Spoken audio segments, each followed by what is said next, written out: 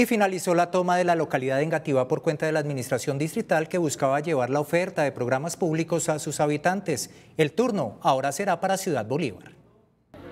27 establecimientos fueron sellados. Se suspendió la actividad de bares por permitir la presencia de menores en sus establecimientos y la falta de requisitos para funcionar, así como negocios de celulares, bicicletas y bodegas de reciclaje, entre otros. Esto en el marco de la estrategia Juntos Cuidamos Bogotá. Cerrar establecimientos comerciales por falta de documentación y por estar presuntamente vinculados con cadenas criminales. En tan solo una semana se lograron recolectar cientos de toneladas de residuos en jornadas de limpieza en canales y sumideros de la localidad, que a su vez permitió la recuperación de entornos. Logramos recoger 180 toneladas de los diferentes canales, sumideros y calles de la localidad.